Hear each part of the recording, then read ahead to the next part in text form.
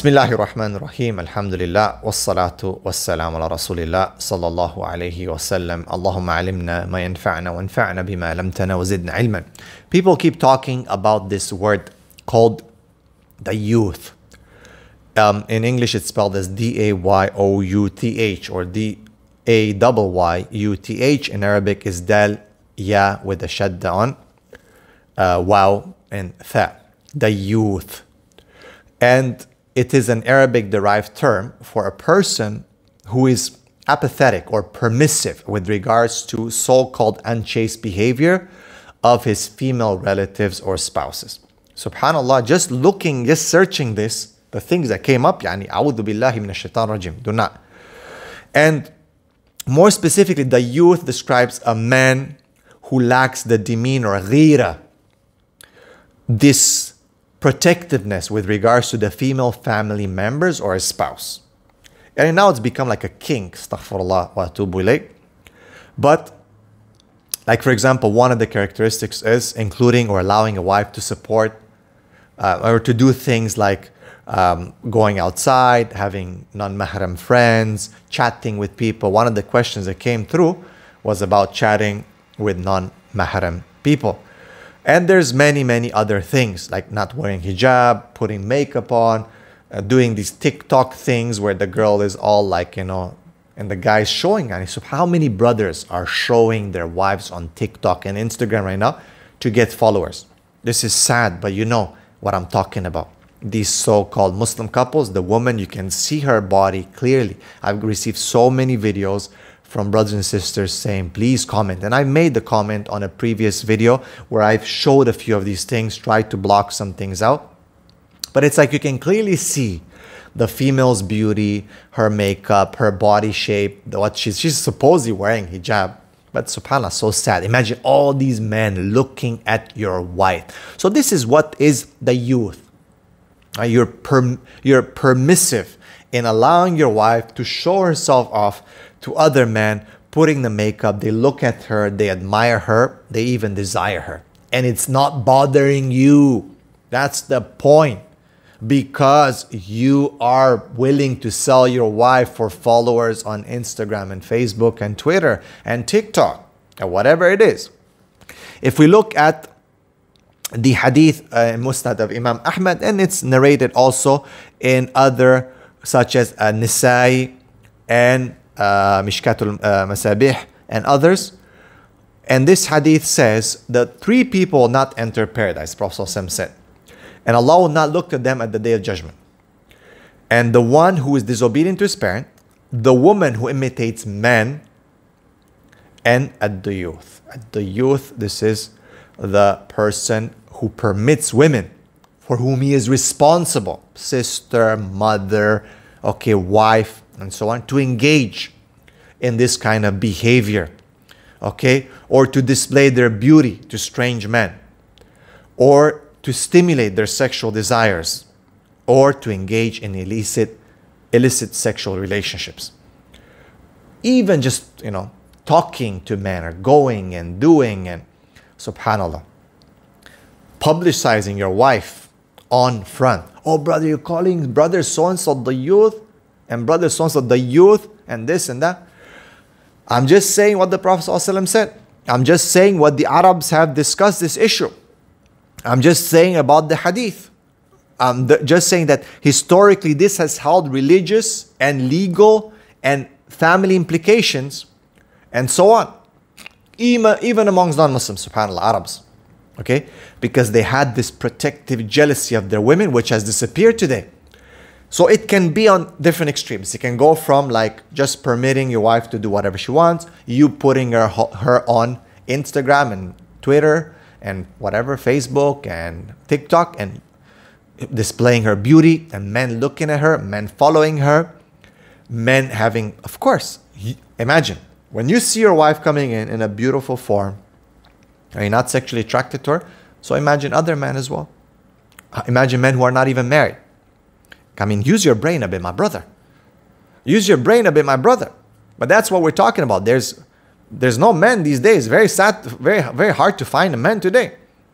He might look like six feet two, whatever, big muscles and this and that. But man, he's not a man. He's just a bunch of meat. Sadly. And people, oh brother, you're insulting them again. I'm not insulting. Did I say their name? SubhanAllah, people are so reactive when you're talking about these things.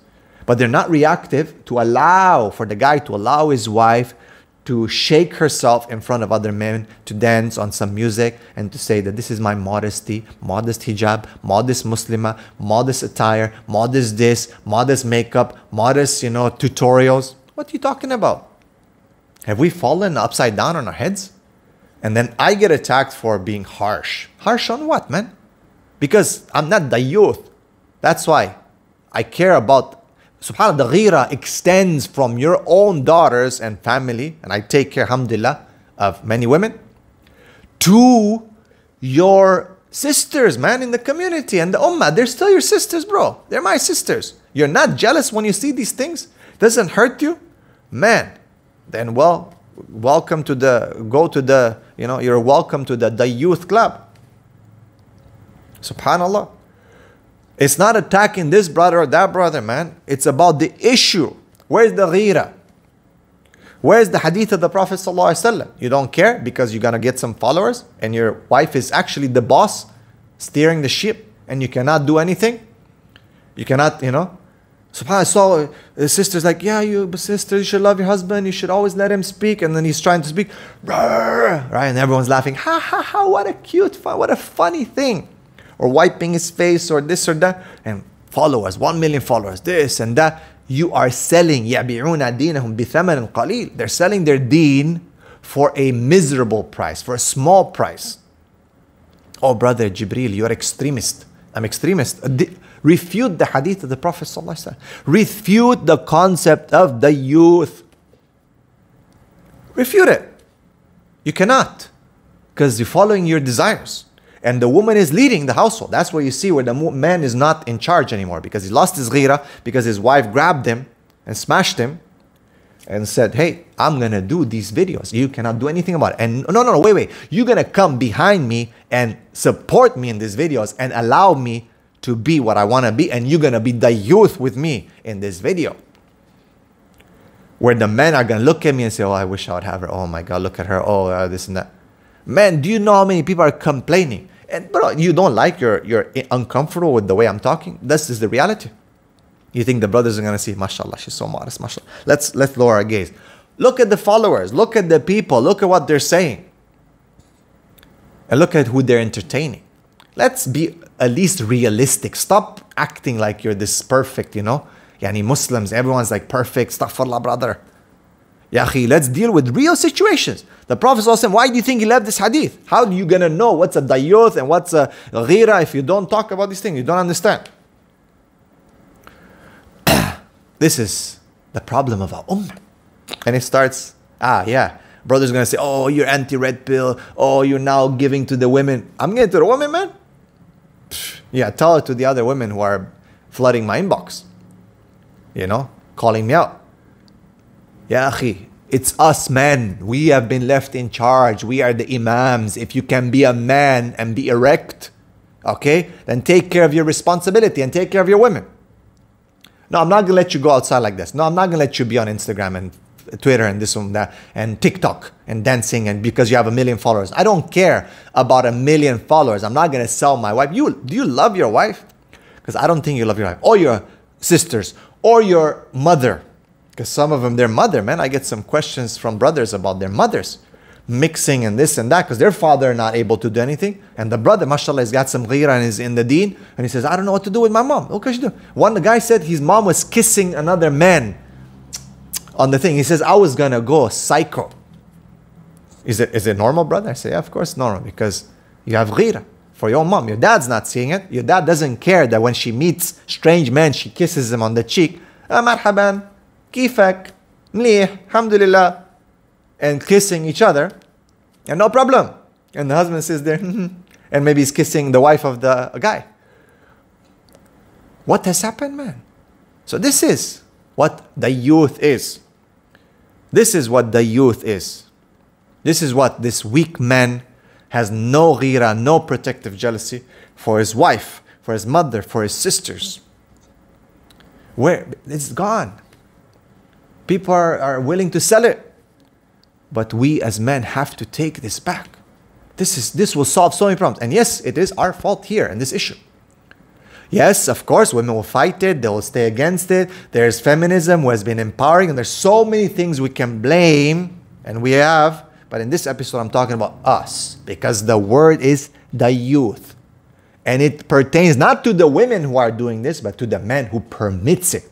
And it's gone from this kind of TikTok type of stuff to worse things to a'udhu billah, a man enjoying to see his wife being pleased by someone else. Okay, it's leading to that. And that's one of the definitions, by the way.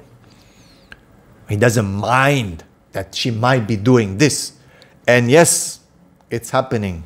Yes, it's happening. It become a kink now.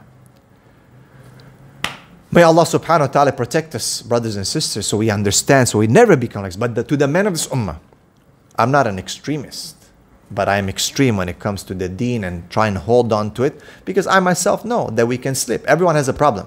People say, You think you're perfect? I don't think I'm perfect. Far from it. But we need to educate on these issues, brothers and sisters. We need to understand what these problems are. And the first thing we need to deal with, we need to advise our brothers and sisters who are doing these videos, just doing these things and and destroying their wives and their sisters and those who they're responsible for. May Allah subhanahu wa ta'ala help us to regain al ghira and that men, we men, the imams, take our job seriously and we get back to the fitrah of the real men of this ummah based on Quran and Sunnah. I apologize, I was a bit hot on this, but it's such a tough thing because I have daughters, I have females in my family that I love and I take care of.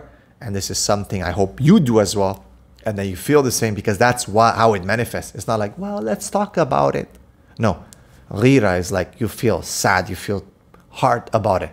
May Allah protect us and protect the women of this ummah, and that the men wake up to protect them because it's in the end, first and foremost, our responsibility. It's not only our fault of what's happening, but it's first and foremost our responsibility as men. If men are men, we'll take care of this, inshallah, because Allah has given us this responsibility. Barakallahu fikum. Assalamu alaikum wa rahmatullahi wa barakatuh.